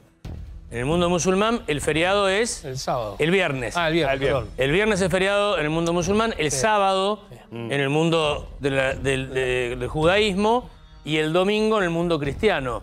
Porque siempre creemos que el domingo es en todo el mundo. No. No, al revés. En eh, varios, casi 2 mil millones de personas tienen su feriado el viernes, el mundo musulmán. ¿Salimos? De Palermo. ¿Estamos otra vez de Aeroparque? Sí. Bueno, desde Aeroparque. Sí, si salimos del puerto vamos a tardar. Mucho más, pero. Bueno, y nos vamos. No, andate a. Sí, a Tabriz. Yo te quiero que vayamos a Tabriz. No, ahí no. A, a Tabriz. Tabriz. Tabriz. Bueno, ok, vámonos acá, yo- de acá, de acá. Tabriz está acá. La cuarta ciudad de Irán. eh, es una ciudad. Ah, estamos yendo a Tabriz. Mirá, mirá, mirá cómo viajamos, ¿no? Cuarta ciudad de Irán. Dos, Está pensando, me parece. Sí. dos millones. Queda, queda en el está, mundo. Sí, sí, ahí es. Ahí está. Tabriz, mira. Esperá, toda carrera. Ahí nos vamos, a Tabriz. Provincia de Azerbaiyán. Azerbaiyán. Que se, llama igual que el país Azerbaiyán. Allí en la frontera, 2.200.000 habitantes, está cerca de las, cordi- de, lo- de las estribaciones del Cáucaso. Por, ¿Por qué tiene dos, este. ¿Hay dos Tabriz? iconos, sí, dos Tabriz. No sé, porque me parece que una será. La ciudad. La ciudad de ser esta. Sí. Pero bueno, achiquemos. Ahora no, no, ahí está la ciudad. Pero volvamos, volvamos, porque este era el destino al que pensaba llegar en helicóptero el presidente de Irán. Ajá. A la cuarta ciudad. Achiquemos más aún, que se vea. Un poquito más, un poquito más. Un poquito más. Ahí, mira, hasta ahí. Esta es la ciudad de Tabriz, este es Irán, por acá está Teherán, la capital, y acá está Azerbaiyán. ¿Por qué toco el país de Azerbaiyán e, e Irán? Porque aquí en la frontera, en un río, el río es eh, el río Aras, un río muy caudaloso, se estaba inaugurando una represa, un, un dique. Y en el medio del dique, que es el límite entre los dos países, se encontraron el presidente de Irán y el presidente de Azerbaiyán. Estaban enemistados, fue como una reconciliación, es como si Sánchez se encontrara con Milei, no tenemos frontera con Sánchez, pero si, si la tuviéramos, y se dan la mano e inauguran esta central. Terminado el acto, seguramente algún agasajo, algún ágape, helicópteros. Tres helicópteros de fabricación norteamericana, un poco viejos para un presidente, 20 años, va, no sé cuánto tendrán los helicópteros que usa Milley, son también No, de la no época es- de Menem. No es tan viejo. Lo que pasa es que los- las aeronaves, a ver, depende también, no de la cantidad de años, Del sino mantenimiento. Del mantenimiento y obviamente de la eh, innovación que se haga en el aparato. Las renovaciones, las mejoras que se le hagan. Bueno, El este, motor y era, demás. este era un helicóptero Bell. Sí. Estos eran la versión civil de los helicópteros famosos de Apocalipsis Now de Vietnam. Claro. Los Bell de guerra. Estos son los helicópteros eh, adaptados para uso eh, civil. En tres helicópteros parte la delegación iraní desde la frontera hasta Tabriz, un, un viaje relativamente corto, por eso era en helicóptero, muy montañosa la zona, había bruma, mucha niebla, estaba lloviendo en algunas regiones, y ahí parten en una comitiva, en una, ¿cómo se dice cuando es un conjunto de helicópteros? convoy. Un convoy de tres helicópteros, varios funcionarios. En uno de ellos, el presidente de Irán, el canciller, es decir, el ministro de Relaciones Exteriores de Irán, eh, el ayatollah, es decir, la autoridad religiosa que da eh, los rezos de los viernes en Tabriz, en la principal mezquita de Tabriz, el gobernador de la provincia de Azerbaiyán, hay por Azerbaiyán no estaba en guerra con. o- con Armenia. Con Armenia. Claro. Azerbaiyán es un ¿Sigue país. en guerra con Armenia? Tiene muy mala relación, pero Claro. ahora, ahora hay, hay, Hay como una paz. hay como una paz. Ah. Azerbaiyán es un país y el mismo nombre tiene una provincia de Irán. Eh, en ese helicóptero van los tres, dos llegan a destino y el tercero no llega. El tercero, el más importante, con el presidente y el canciller y el gobernador. Y empieza una frenética búsqueda. Infinidad de patrullas que llegan al lugar desde todas partes de Irán. El presidente de Turquía le envía ayuda, ofrece ayuda a todo el mundo. Eh, preocupados porque, y, y ustedes lo habrán, si estaban atentos ayer a la tele o a las noticias o a las redes sociales, durante horas la incertidumbre de si el presidente había ten- estaba aterrizado en algún lugar sí, por ahí. Y vivo o muerto. Vivo o muerto, o se había estrellado el helicóptero. Exacto. Todas las televisoras, de todos Sí, los sí, sí. canales internacionales, yo ayer puse a ver, y todos, los alemanes, la BBC, bueno, la CNN también. eh, ¿Dónde está y qué pasó Bueno, con el presidente de Irán? Eh, porque había versiones de que eh, se recibían señales de algunos de los integrantes del helicóptero, lo que presumía que podían estar vivos. Bueno, ¿cómo, ¿cómo se descubrió dónde estaba el helicóptero? Porque era bastante difícil acceder a esa zona con un dron turco. Un dron que eh, ofreció Turquía, esos drones que eh, registran, son termosensibles, registraron un calor poco habitual en una parte de la montaña boscosa y ahí era el incendio de la aeronave. de, de la destrucción del avión. Bueno, todo esto es la descripción de qué sucedió ahí. Ahora, ¿qué pasa en Irán con la muerte del presidente? Lo hemos dicho ya varias veces, Irán es un país con un gobierno bastante particular. Se dice que es la única teocracia en el mundo, que es una teocracia en que los religiosos tienen el poder. Es como si aquí en la Argentina... La iglesia... Claro, la iglesia suponte, Milei es el presidente, o Fernández, o Cristina, o Macri, pero hay una instancia superior que tiene más poder que el presidente electo por el pueblo, que es la junta de los cardenales de la iglesia católica. Claro, exactamente. La, la conferencia episcopal. Episcopal, Claro. ponele, algo así. Claro. Y te bajan el dedo y ahí hay un líder supremo, que ese no murió. Este, Jameini, que tiene 85 años y que estaba tal vez mirándolo al actual, al presidente muerto, perdón, como su posible sucesor. Esperá, te hago una pregunta. Eh, ¿Ayatollah? Sí. Ayatollah significa líder religioso. ¿Es eso? Sí. El que, quedó, el que está vivo, digamos. Sí, sí, Ayatollah es el título y el nombre, el, el Ayatollah fulano. Sí, sí, sí.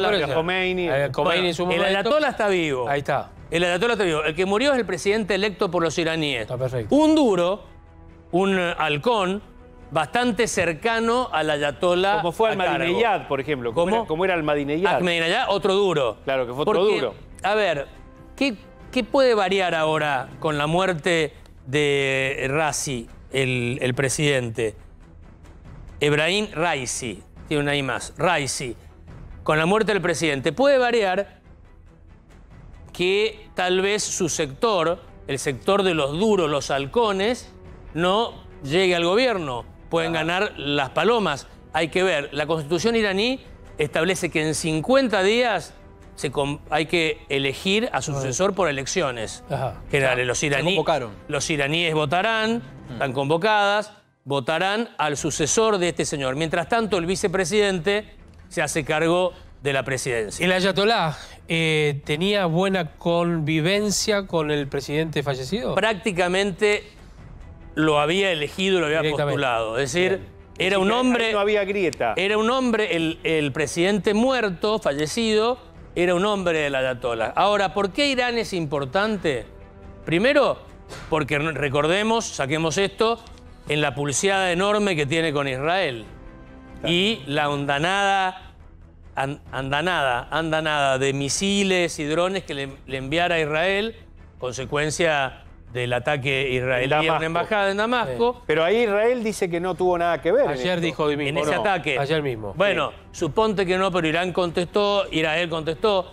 No, no, Irán- no. Israel ayer dijo Sí, que no tuvo que no nada que tuvo ver. absolutamente nada que ver con la caída del helicóptero. No, no, con esto no. Bueno. Estoy hablando con la caída. No, no. No, bueno, pero, No, pero porque- puede, claro. puede- Ayer no, hubo sospecha de todo Ah, el bueno, mundo. bueno, no, eso está fuera de sospecha. Si fuera un atentado por parte de otra potencia, sí es complejo. Te estoy diciendo por qué eh, Irán es importante, más allá de la caída del helicóptero del presidente. Es el archienemigo de Israel, es el país que tiene una pulseada realmente importante con Arabia Saudita, eh, la pulseada dentro del mundo musulmán, como era entre los cristianos antes, entre católicos y protestantes, que había guerras en Europa. Acá los chiitas, musulmanes chiitas, mayoría en Irán, y los musulmanes sunitas, mayoría en la Arabia Saudita, eh, tienen relaciones tensas. ¿Eso te Eh, parece, Luis, que, perdón, eh, pero que esa tensión entre Arabia e Irán es lo que de alguna manera permite mantener el equilibrio de poder en Medio Oriente? Digo, sin Arabia no sería bastante peor. Podría ser, podría ser. De hecho, muchos adjudican los atentados de octubre de Hamas, cuando cruzan la frontera de Gaza y atacan Israel, toman los rehenes, todo eso, a un intento de Irán, a través de Hamas, de evitar algo que se venía, que era la firma de un acuerdo de largo plazo de entendimiento entre Arabia Saudita e Israel. Y el último dato por el cual Irán es muy importante en la escena internacional es porque está a punto de tener la bomba atómica. Está a esto de tener la, bo- la bomba atómica. El argentino... Rafael Grossi. Rafael Grossi, presidente o director de la, de la Agencia Internacional de Energía Atómica, con sede en Viena, argentino, la máxima autoridad atómica en el mundo, nuclear en el mundo, eh, señaló hace poco, declaró hace poco, que Irán está a pocos días, si se lo propusiera, de poder producir una, dos o tres bombas atómicas. Y eso es peligroso para la región. Eso es muy peligroso para la región. Israel ya tiene bombas atómicas, pero si Irán la vez pasada le tiró, le mandó a Israel todo lo que tenía, ahora le puede mandar entre todo lo que le tenía Una bomba si- si atómica. logra una Lo, bomba lo- atómica. lo que diría un gran internacionalista que fue Kenneth Walsh, en una pregunta muy provocadora que hizo en un texto muy famoso, que se llamaba ¿Por qué Irán no puede tener la bomba? Es que si, como el armamento nuclear se considera disuasivo, si Irán tuviese la bomba, es una hipótesis provocadora, generaría un equilibrio en la región. Insisto, es una hipótesis provocadora. Sí, tal cual. Bueno, pero ojalá se desnuclearice todo el mundo. Bueno, pero no va a pasar. No, claramente no. Así pasó cuando la India y Pakistán empezaron a, a- a competir y los dos tienen bomba atómica y sigue la historia. Bueno, el coreano del norte. Ahora, por eso Irán es un país importante, además de sus 90 millones de habitantes, de ser el heredero del viejo imperio persa, una cultura, una civilización, un país realmente importante, poderoso. Totalmente. Mira, vamos a ver el helicóptero, porque es un dato muy importante y no es menor. Es un helicóptero, mira, vos viajabas en un helicóptero norteamericano, de Sí. origen norteamericano. Ahí está. Eh, ahí está, este es el Bell 212. Es un helicóptero en el cual aquellos que conocen te cuentan que es un helicóptero de eh, manejo visual. ¿Qué quiere decir? Con malas condiciones climáticas, No poca conviene, visibilidad. no conviene. es prácticamente Hay que bajarlo. imposible, imposible. Bueno, habría sido una de las causas, si bien se está analizando, que el piloto no pudo reconocer el terreno para poder sobrevolar en esa zona. Montañosa y con bosque. Totalmente. Es un eh, helicóptero de hasta 40 años, ¿no es cierto?, de, de antigüedad, Luis decía 20, y que, como decías vos exactamente, digamos, se hizo famoso, entre otras cosas, por la película. ¿eh? Por Eh, Apocalipsis Venado, porque, era- porque era el helicóptero de Vietnam. Es de Vietnam. Claro. totalmente. Tengo ¿no? una, una pregunta para el profe Rosales, ¿puedo? Obvio. Es un, un desafío. Me Mirá si te decimos que no. Me- Claro. bueno, no Eso- la hago. No sé Pero si yo no- quiero que me la, me la pregunte como le preguntaba al español. Tú, No, no, trate ¿qué de ese tú. bullying, De tú. Rosales? No, no. Que me trate de tú. Una Sí. pregunta que me interesa mucho la respuesta del profe Rosales y es, hipoteticemos que ganara Trump en Estados Unidos. ¿Qué nos imaginamos que pasa en todo esto que nos estás contando en Medio Oriente? Bueno, Trump te dice, o en los alrededores de, de Trump te dicen que Trump con su criterio práctico ordena todo. Mm. Algo, de eso de, algo de eso hay, que finalmente eh, Trump fue menos, mucho menos bélico y guerrero que otros presidentes anteriores y posteriores. Retiró a Estados Unidos. de Retiró a Estados Unidos lados. porque a- al coreano un día lo llamó por teléfono directamente, había comisiones y comisiones de montones de embajadores. ¿La verdad que se vieron en la frontera? Sí, se vio en la frontera. Y cuentan que, que dijo, ¿qué, es esto? Agarró el teléfono, ¿cómo? A ver, deme el número, lo llamó. Eh, Che, soy Trump, King. ¿Cómo es la cosa acá? Trump. Soy Trump. Trump. Y algo parecido hizo, cuentan también los que lo rodean, con López Obrador en México y la frontera. Claro. ¿Cómo puede ser que ustedes no cuiden la frontera? Bueno, si no cuidan la frontera, yo voy a revisar todos los tratados que tenemos comerciales con México. ¿Te acordás la del muro? A los, dos- de a los México. dos días estaba México cuidando la frontera.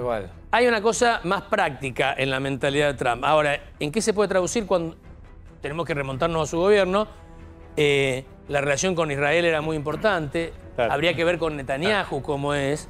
Su yerno de, religión judía, el, el marido de su hija, lo puso de eh, embajador o, o contacto especial con el Medio Oriente. Se avanzó mucho en los acuerdos abrahámicos, que son los acuerdos entre Israel y otros países árabes que no estaban en acuerdo. Eh, con Irán va a ser tensa la relación seguramente. A Trump no le gusta que lo correteen. Y, y ahí eh, Irán está a punto de tener un- una herramienta de poder que lo transforma en un país de, otra, de otro, otro plano, nivel, de claro. otro nivel. Ah, eh, hay un dato que está, para- digamos, vinculado a la Argentina. No he visto, primero, obviamente, este comunicado de Cancillería este, lamentando la muerte del presidente de No, Irán. no, he- no. Bueno, pero pará, Eh, pará. Una cosa es las relaciones, que Sí, yo sí, sí. no lo he visto y esto es lógico que pase. Sí. Por otro lado, recordemos algo. La Corte Suprema este año eh, emitió un fallo en el cual considera a Irán como el ideólogo del ataque ¿La a la Corte. Suprema o fue casación? casación? Bueno, en este caso Y la casación Cámara en de realidad. Casación Penal. La Cámara de Casación en realidad, no fue la Corte, ¿verdad? Pero la Cámara de Casación lo que ha dicho es que Irán fue el ideólogo de los ataques. Bueno, y, y este presidente fallecido en Irán tenía dos ministros en su gabinete Exacto. sospechados o, De haber participado. o- De haber o participado. señalados como artífices que se, lo- ideológicos. que se los requería por esta cuestión. ¿No es cierto? Claro, así es. requería por la cuestión de los atentados aquí en la, en la República Argentina. Así es. Ahora, si fue un accidente, si fue un accidente, ¿no tiene que haber un comunicado oficial por más que no comulgues ideológicamente con, el, con ese país? Estás muy... Yo, Y- no, no, Mirá, estoy muy muy diplomático hoy. No, estoy muy Creo diplomático que hoy. el- el estoy muy diplomático hoy. eh, me parece que el gesto por antonomasia de eso es que hubo un comunicado, por ejemplo, de la OTAN, que hoy es la némesis Bueno. de, de Irán. Bueno. Y hubo un comunicado de, de- de la OTAN, de la vocera la de la OTAN, claro. Claro. Eh, pero bueno. Sí, cuando se muere alguien y ese... pero y ese- claro, El, tema, el tema es que para la Argentina Irán es enemigo. Sí, está planteado así. Por los dos Sí. atentados, si bien no lo dicen Y- y más literalmente. para Milei, pero- especialmente para Milei. No, Milei- bueno, claro, Milei, este, la Cámara de Casación este, para la Justicia Argentina. eh, Milei con su alineamiento pro-Israel absoluto. un Bastante. silencio no quiere decir que sea todo lo contrario al lamento. ¿Se entiende de lo que voy, no? Perdón, Es decir, perdón. pero hemos tenido una guerra con Gran Bretaña y, eh, a ver, en, en lo popular, Gran Bretaña es, es eh, lo que fue la guerra en Malvinas, es el enemigo de la República Argentina y no por eso uno no, ha- no emite comunicados. Pero una guerra es distinto a un Bueno, atentado. pero es lo mismo. A dos atentados, no a uno. Es lo mismo. Es distinto, es distinto. Vos decís que tendríamos que haber entre países. lamentado la muerte No, qué sé del yo, presidente. no sé, pero, me pero bueno, venimos hablando hoy desde el arranque del programa con lo que pasó en España. Imagínense que nos vamos a pedir no, un comunicado creo- no. pro Irán. Creo como, Digo, Mejor que no digan nada. No digan- Por la duda, mejor que no digan como una nada. mirada no nada. respetuosa, creo que no comunicarnos no hace ruido y sí comunicarnos hubiera restado Exacto. mucho. Más de Totalmente. Sí, sí, pero por supuesto. Totalmente. Parece que a veces el Hay que silencio tener mucho cuidado con la, con la redacción. hay gestos en la geopolítica que son importantes. Bien, bueno, por eso, ese, ese es el punto. A ver, Irán, ya sabemos, a propósito de lo que ha sucedido, y sabemos quiénes son además también en la Argentina quienes han acumulado siempre con, con Irán. Bueno, tenemos un minuto. No sé si Robertino querés aprovechar un minutito antes de irnos. Te cuento cortito y rápido Mañana. un anticipo foto para mañana. Sí, dale. Bueno, lo que hablamos un poquito con Jorge Macri. Dale. Atención, foto importante va a haber mañana de Mauricio Macri en este intento de vuelta al origen del PRO. Encuentro con los gobernadores de su partido y algunos intendentes importantes ahí en Avenida El Libertador, en las oficinas que tiene el expresidente de la Nación. Un Macri que por lo que me cuentan a mí espera que se apruebe la ley bases para buscar que el PRO empiece a diferenciarse un poco del gobierno de Milei. Todo lo contrario a lo que quiere Patricia Bullrich, que el fin de semana Luis Guillón encabezó un acto importante con armadores de la Libertad Avanza, llamando definitivamente a la fusión con el partido del presidente Milei. O sea, de mañana. o sea que la vamos a escuchar diciendo viva la libertad. Sí, ya hablan de pro-libertad. Bueno. Pro El libertad. bullrichismo, sí. Ah, Bueno, y atenti, atenti que se viene el jueves paro docente, ¿eh? la CETERA y los 24 gremios de la. CGT, la UDI y demás. ¿eh? Tal cual. 24 horas, mañana hay una conferencia de prensa. Y el sábado, y el sábado eh, es 25 de mayo. Sí. Atención con No el tuit corre. de, de el vocero de la presidencia, Manuel Adorni. No sé si tenemos tiempo de ponerlo si no nos tenemos que ir ya. Este, Alejandro, el tuit de el de Adorni. Miren lo que acaba de escribir hace minutitos nada más. ¿eh? Minutitos nada más respecto de fiesta, gran fiesta, 25 de mayo, ¿eh? desfile. Será Córdoba. ¿Se sigue firme el Hay Córdoba? una idea de hacer un desfile de, eh, por el 25 de mayo en Córdoba, pero el, pero el pacto de mayo. Ah, no, no es por el pacto de mayo. No hay pacto de mayo. Bueno. Salvo algo raro en principio. Bueno, no importa. De- anunciando justamente esto. Bueno, nos vamos porque si no, Maxi nos Sí, mata. llega Maxi. Y además lo vamos a mostrar seguramente Maxi. Ahí, está, mira, gran fiesta patria por delante, Por delante. dice Fin. Manuel Adorni. Fin. Bueno, Tiene que cambiar la foto porque está pelado Adorni en esa foto. Bien. Mari- eh, Maxi Montenegro ya viene, ya está. Exacto. Ya está, ahí no con nosotros. Lo que te pasa a vos, nos pasa a nosotros. Mañana nos vemos. A las 6 menos 10.